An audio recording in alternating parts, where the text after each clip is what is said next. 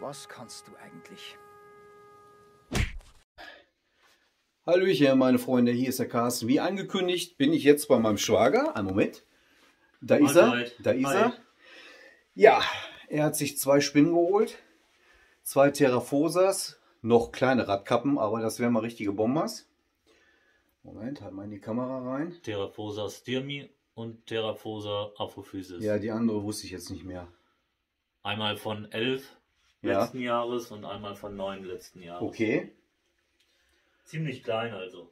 Ja, wie gesagt, wird jetzt auch kein so langes Video. Einfach nur mal, zack, er hat auch soweit auch schon mal alles vorbereitet. Ich drehe mal einmal das Bild, Freunde, einen Moment.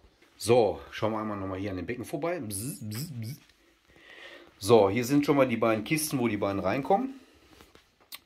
Und Ja, Ja. Standard halt, ne? Korkstück, ja, ja. bisschen Laub, hier bisschen Sphagnummoos, Wasserschale, Ich sag mal, alles was sie so brauchen, ne? sagst du, drei, vier Häutungen, können die da drin bleiben? Ja, ich muss, muss ich halt gucken, wie schnell die wachsen. Ne? Ja, die machen schon Sprünge, ne? Terrafosas. Jetzt mache ich erstmal die Styrmi, weil die hatte ich schon hier aus der Filmdose rausgeholt. Ja. Ich musste gucken, wie groß die sind. Ja. Die sind halt hier so eingewickelt, ne? Äh, wie ist, ist, sie, ist sie da jetzt? Die sind hier in Ah, ist, da, äh, ähm, Watte. Äh, nicht ist die Spinne da drin? In der Watte? ja, ja. Die ist eingerollt. So werden die halt sicher verpackt, ne? Und wenn, man, und wenn man die aus Versehen quetscht? Die quetschte nicht. Die- Okay. Die rollen sich ein. Die ziehe ich jetzt hier vorsichtig auseinander. Okay, ich gehe mal ein bisschen näher ran. Ach, da ist sie ja schon. Guck Ja. mal. Ja, dann schauen wir mal. Das ist jetzt halt die Styrmi. Unbestimmt, ne? Ja, genau. Ja. Die wären für die andere Box noch zu groß gewesen. Mhm. So, jetzt nehme ich mal meinen Pinsel. Aber ich will nicht, falls sie zupackt, dass sie in eine Pinzette reinbeißt.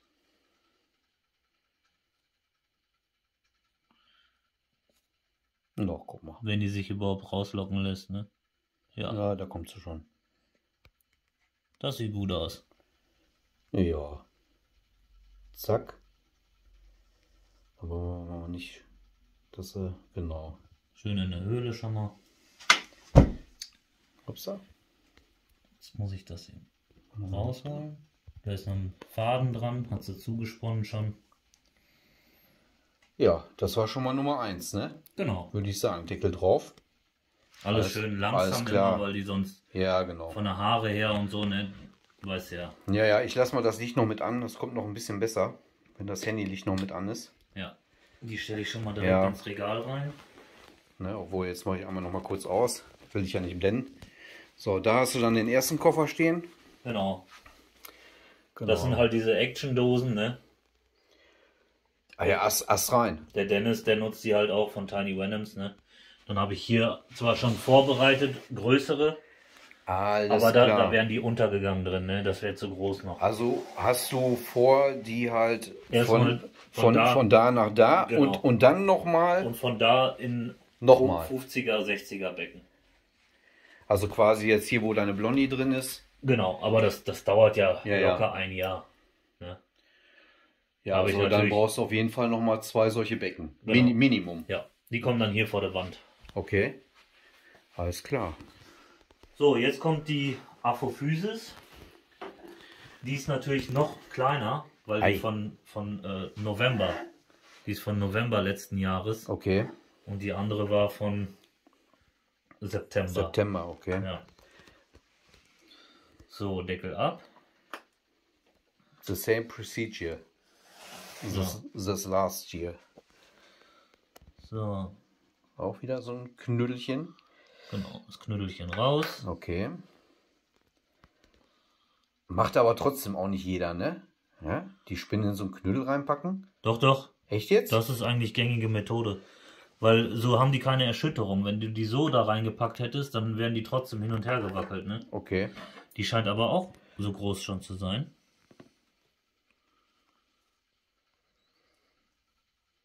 Ja, vielleicht eine Häutung davor, ne? Würde ich sagen. Da ist sie schon.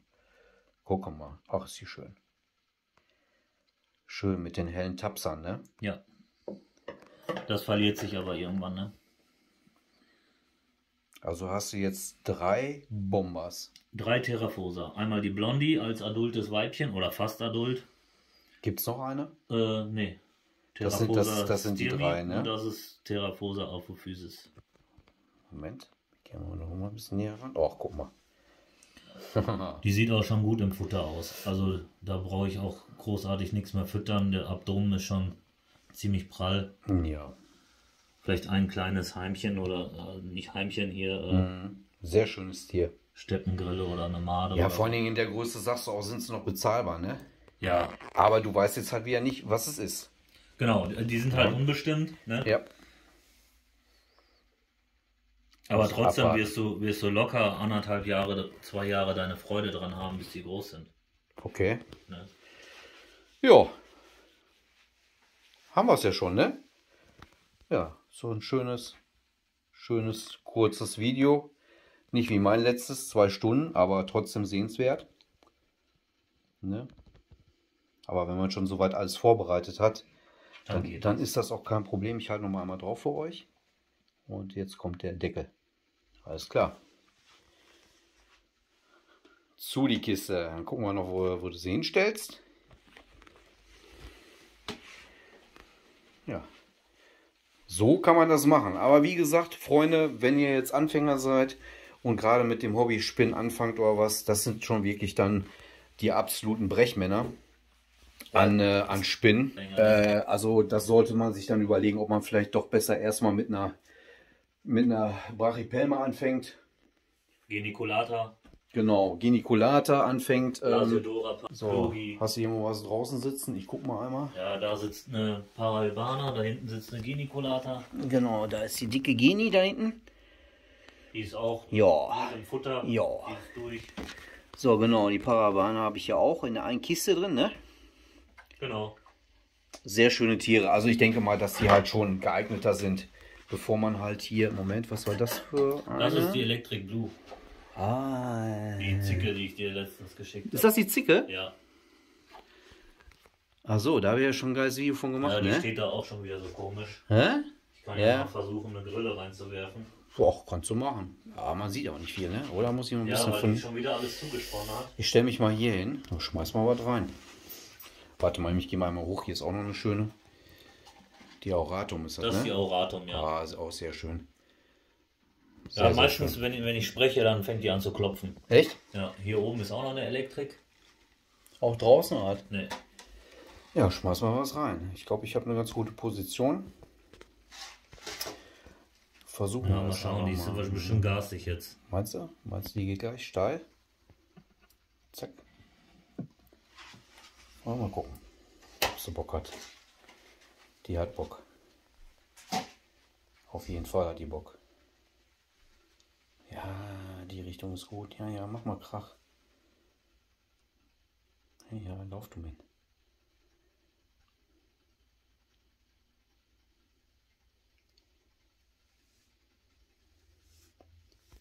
Ja, super Tiere.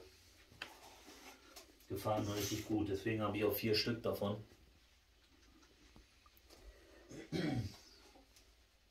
Ja, ist ja jetzt auch schön, dass sie so draußen sitzt, ne? Ja.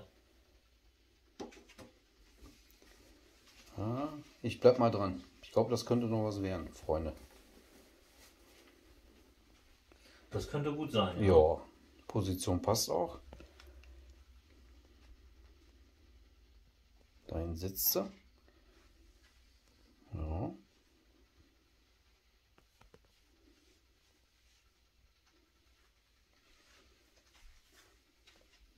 Geduld.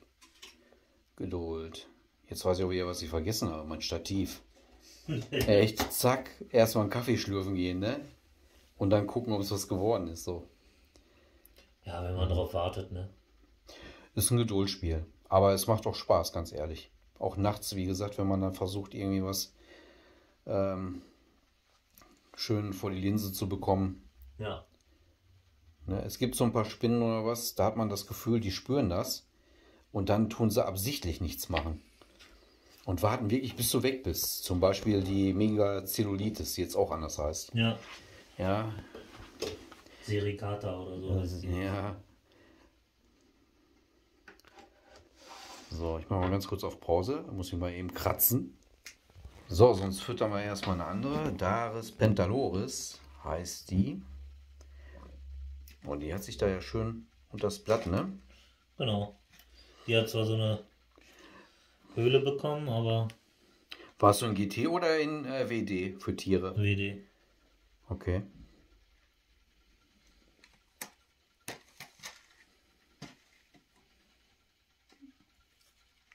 Zack. Wunderbar. Ja, die hat eigentlich hier vorne ihre Höhle, aber die hat sich jetzt Irgendwie ihr das, unter ja, dem Blatt. irgendwie findet ihr das toll, ne? Ja. Genau. Schön, schön. Cool. Ist auch eine richtig hübsche. Davus Pentaloris. Ah, hier tut sich noch nichts. Ne, Obwohl die Grille ist auf jeden Fall wieder. Ja, ich hole mir auf jeden Fall nie wieder diese schwarzen Grillen. Wie heißen die nochmal? Ach, das sind die diese stinken. Mittelmeergrillen heißen oh, die, oh, glaube ich. sie kommt. Sie dreht sich. Ja, das ist, ich. die ist ein bisschen nervös. Wenn da ein bisschen zu laut ist oder Ja, die, Die spürt das alles hier durch diese Fäden, alles. Mhm. Gucken wir mal. Können wir einmal zurücksetzen? Nee, nee, ran ist besser. Mal schauen, ob sie sich umdreht.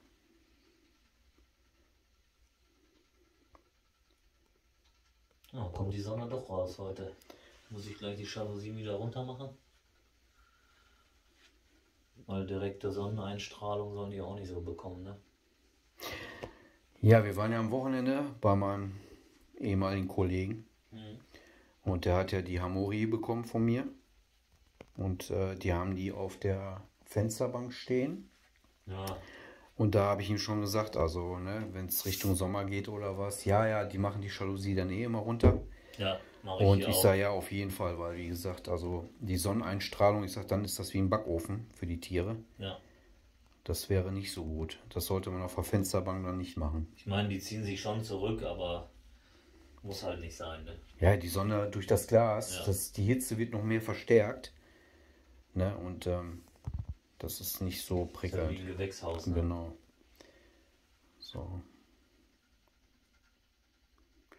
Also die Grille checkt auf jeden Fall noch gar nichts. Weil wenn die was merken, dann können die auch in so eine Starre verfallen, ne? Ja, Echt. Und können eine Stunde echt sich nicht bewegen. Das ist aber unfassbar. Wenn die, wenn die Elektrik jetzt Hunger hätte, dann wäre die auch schon draufgegangen. Obwohl Carapax, ja. Ja, Quatsch, das Abdomen. Es geht, ne? Geht. Meinst du, dann wäre sie schon längst drauf? Ja, wenn ich jetzt die Kamera ausmache, dann. dann geht sie drauf. dann geht sie drauf, normal. Das, die verarscht mich jetzt. das ist unfassbar. ey. Unfassbar, Freunde. Ich mache nochmal auf Pause. So, hier einmal auf die Terrafosa Blondie halten, so gut es geht. Ja, ist auch schon Klopper, ist das, ne? Ja, Aber näher gehe ich auch nicht ran, du. Sonst, äh, ne, klaut die mir gleich mein Handy, du. Lass mal. ja, die kannst du eigentlich Hä? auch auslocken mit dem Pinsel, aber Ja, dann will die Futter und ich habe momentan nichts da für sie. Weil die braucht eigentlich auch nichts. Die ist schon dick genug. So, hier tut sich nichts, Freunde. Ist auch nicht schlimm. Dann würde ich sagen, ne, machen wir erstmal hier wieder einen Cut. Ja.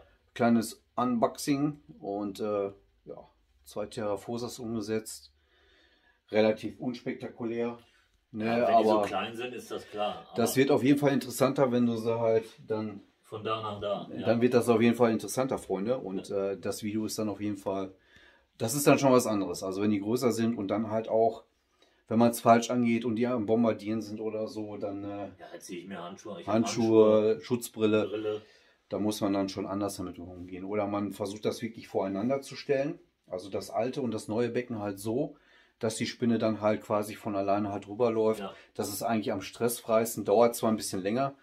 Da muss man halt sich immer was einfallen lassen, ne? wie man die halt passend voreinander stellt, dass die Spinne auch wirklich auf direkten Wege halt reingeht. Vielleicht ein bisschen am Bein mal anstupsen oder so, aber mehr auch nicht. Ne? Deswegen, dass die gar nicht so anfängt zu bombardieren oder so. Ist aber schwierig bei Terrafosas, ne? Ja, auch wenn die erstmal selbstbewusst werden, Naja, dann, äh, wenn die so eine passende Größe haben, dann ja, ja, dann äh, machen die schon Kette. Ja. schon. Ich würde sagen, dann haben wir es erstmal wieder soweit. Ich hoffe, das Video hat euch gefallen. Äh, verabschiede mich erstmal, ne, Schwager? Genau. Würde ich sagen, wir schauen mal, nächsten Livestream geht es erstmal nur ums Zocken, Freitag. Wer Bock hat, schaut gerne mal rein, Freitagabend. Und äh, ja, schreibt in die Kommentare. Ne? Wir sehen uns. Bis dahin. Ciao, ciao. Auf Wiedersehen. Nice.